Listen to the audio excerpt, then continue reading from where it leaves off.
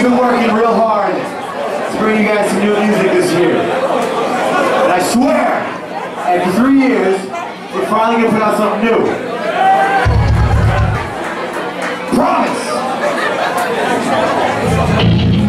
We wouldn't be doing what we're doing if it wasn't for all of you.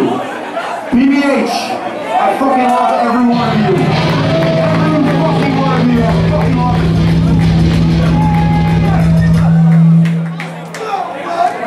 song goes out to all of you. It's called Wretched World.